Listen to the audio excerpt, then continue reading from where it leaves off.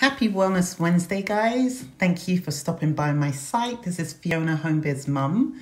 If you haven't been here before, please look around, like a video, and subscribe.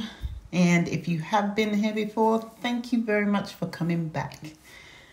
Okay, on today's video, I am going to be talking about why eat beets.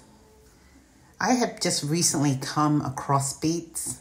I haven't ate beets in my life before this, and um, I was amazed at how many different uses there are for this vegetable and all the benefits. So I'm going to list a few. It is nutrient dense, high in antioxidants, and also in fiber. It's packed with vitamin C, manganese, potassium, B vitamin, folate.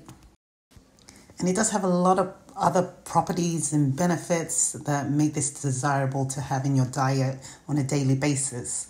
I love the fact that it helps with the blood, it helps detoxify the body, and also it helps boost energy. So I make my after uh, workout smoothies. So this is it with a whole bunch of stuff in it.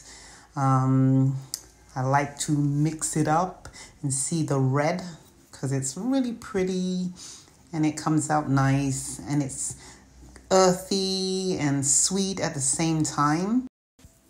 So with that in mind, I started experimenting. I made a beet and ginger honey tea and um, it was interesting. I, I realized that you can eat the the beet after it's boiled.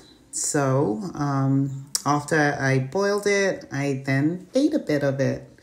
And um, that's how I knew it was earthy and uh, interesting. Uh, like a potato almost. It, it, was really, the texture of it is very neat. And I realized you can eat this thing cold if you want to.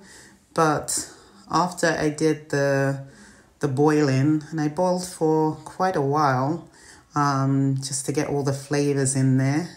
And then I, I poured the tea, strained it out, and then I ate the beet like kind of potato chips. Well, I thank you for watching, and I hope you'll join me next week for some motivation, transformation, and wellness.